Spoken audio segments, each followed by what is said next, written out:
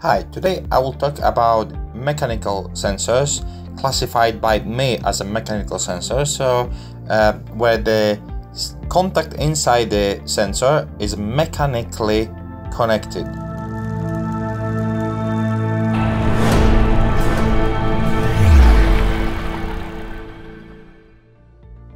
Mechanical switches like this uh, works very similar to relay uh, where the mechanically the contact was made uh, by coil by putting the voltage on the coil.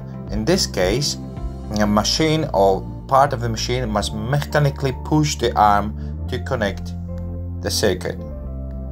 It works very similar to light switch in our houses where you physically must push the switch to connect the circuit these are very popular micro switches. About the parameters, I've been talking in last episode, but they can switch the current up to 16 amps. So that's actually quite a high current. What is the difference between a switch and a sensor?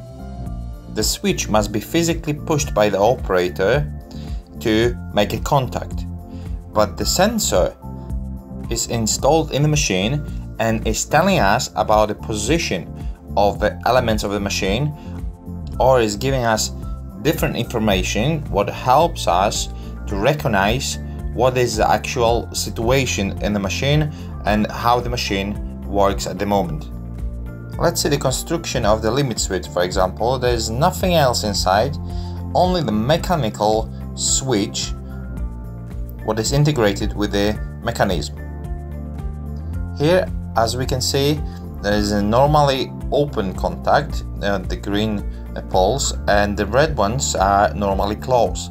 So by pushing the arm, doesn't matter which way, we're just changing the state on the contacts. On this small micro switch, we have only three pins to connect, and there is a normally open contact and normally closed contact. But as we can see on this little schematic, there is a one common pin for both contacts, normally open and normally closed. In this case, we have two separate channels where we can connect two separate devices. This will be quite important because if the limit switch will be installed on the safety features, an example on safety gates, on the big hydraulic presses for example, uh, where the gate must be closed before the operator will start the machine. Then the normally closed contact can be connected to the safety relay and the normally open contact can be used as a signalization uh, any lights or maybe, maybe signal to the PLC to inform the PLC if the gate has been shut or not.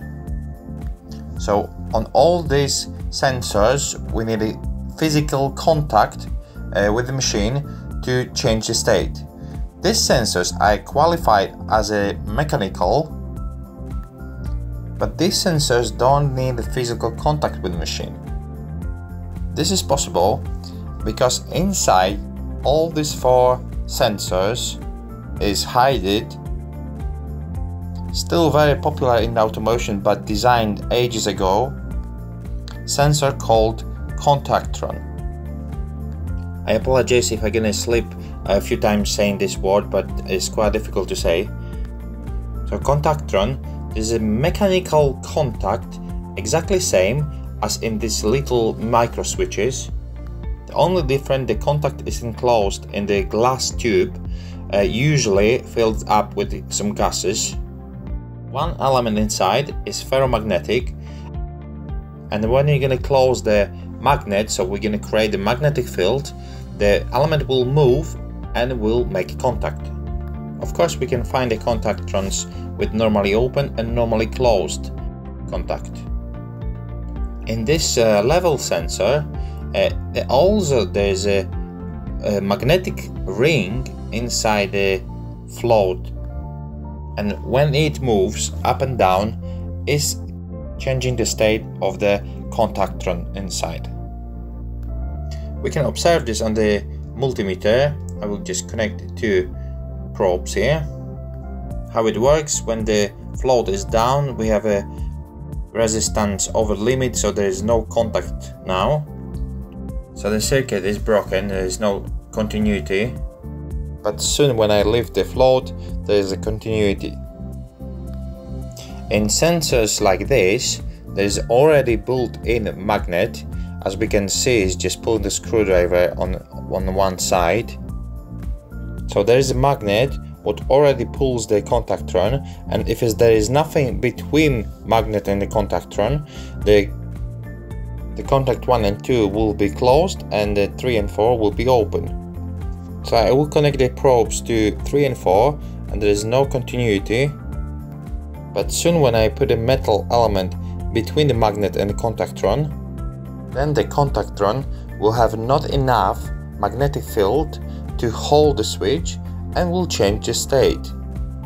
Of course, if we remove the metal element, it will come back to previous state. On this sensor, we have two separated contactrons, normally closed and normally open. So in this case, we have already built in magnet, but on this sensor, for example, there's nothing what can control the sensor. So in this case, we have to use the external magnet attached to the machine. Here we have three wires, one is common, one is normally closed uh, contact and normally open. And in this case uh, the wire black and grey are normally closed contact. Black and brown then is normally open and I'm gonna attach the probes right here and by closing the magnet we can change the state of the sensor. Very similar sensors are used in alarms and the sensors are usually used on the windows and doors. The element without wires, that's of course magnet, and with wires, that's contactron. So we can also test this sensor and by closing any magnet, we will change the state of this sensor as well. We still can find these sensors in many applications. A different type of the sensors are bimetals. and a bimetal was used in the motor overload what I shown on the episode with the motor overloads there were two different metals when they had a different thermal expansion and when the current flows through the metals the metals heat it up eh, with different speed and then the motor overload just tripped this switch uses exactly the same technique, so there is two metal with different thermal expansion. And when the metal will bend from the temperature, it will push an internal switch. Different type of bimetals are the sensors built in our gas stoves. There's a different way how this sensor works. There is also two metals with different properties. And when the two wires are twisted together, and then if we're gonna hit these two twisted wires, they will produce electric current. There is just a little current, but it's enough to close and open small solenoid valve.